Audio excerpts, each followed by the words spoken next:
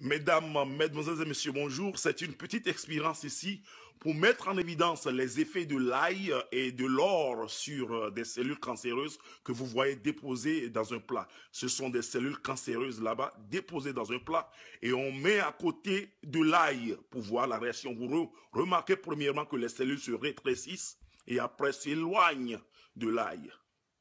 L'ail repousse, on voit clairement que l'ail repousse les cellules cancéreuses. Oui, on va de l'autre côté pour voir, on voit clairement que les cellules s'éloignent de l'ail.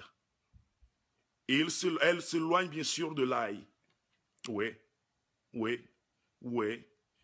On voit clairement que les cellules ne veulent pas s'approcher de l'ail. On fait on fait maintenant l'expérience avec une bague en or et c'est l'effet contraire que nous remarquons. Nous remarquons que les cellules s'expandent premièrement et s'approchent de la bague en or veut l'engloutir. On va de l'autre côté. Derrière, les cellules rebroussent chemin et s'approchent, bien sûr, se ruent vers la bague en or. C'est comme un miracle ici.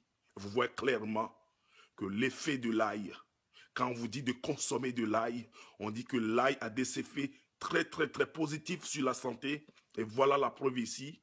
Euh, voilà une petite mise en évidence et j'espère que vous allez prendre une bonne note.